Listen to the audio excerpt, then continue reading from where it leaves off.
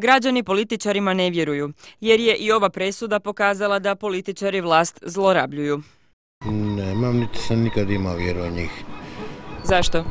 Pa zato jer lažu cijelo vrijeme, pokrali su nas sve, vidite sami kako živimo, kako živimo, tako da ljudi nemaju posla, ljudi nemaju, ljudi su gladni.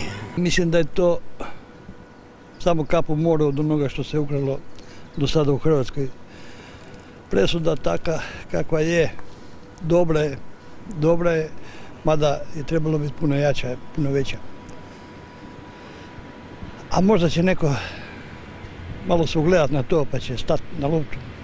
Što više ukradete, dobit ćete manju kaznu. Devet godina zatvora je premalo, a HDZ bi nakon ovoga trebao prestati postojati. Jasni su građani u svojim porukama.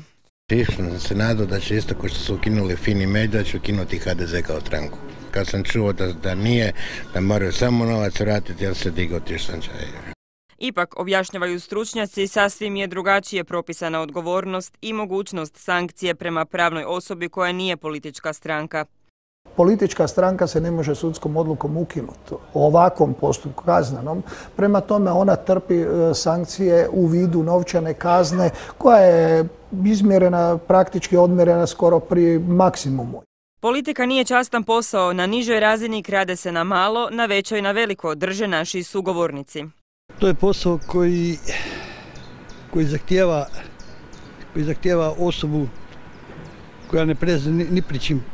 Znači samo za sebe i, i za neko svoje užo, užo obitelji, to je to. Znači smatrate da ako ćeš biti političar u startu nisi pošten? Nisi. Naš sljedeći sugovornik hrvatski je branitelj koji danas živi od sakupljanja boca. Za vrijeme rata bio je u Zadru, u Gospiću tri puta po šest mjeseci, a sudjelovao je i u akciji Oluja. Dobivao sam socijalnu skrb.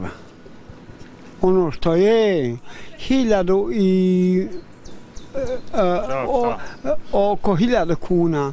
S time sad su mi ukinuli to. Bio sam na sudu. Da li je to moguće od ove države mi hrvatski branitelji? A brani nakon presude HDZ njegov novi predsjednik. Karamarko e, brani sebe i svoju ekipu, ali ne zna kako će se sve izaći van. Karamarko misli da je najviše, najviše ukriva s tome što on pokriva, pokriva kompletu svoju ekipu. A to, kaže politički komentator, nije najbolja taktika. Ja mislim da, da je vrh HDZ-a izabrao u ovom smislu e, krivu strategiju. Mislim da bi e, iskazivanje kajanja zbog dijela za koja osobno nisu odgovorni, nego je, djel- nego je krivo prethodno vodstvo, a sad je to dokazano i prvostupanjskom presudom, da bi to bila jedna zapravo oportunija politička taktika. Ono što bi želio sigurno je da se e, počne raditi ono što je najavio novi državni odvjetnik na lokalnoj razini, da se vidi e, gdje se troši novac poreznih obveznika.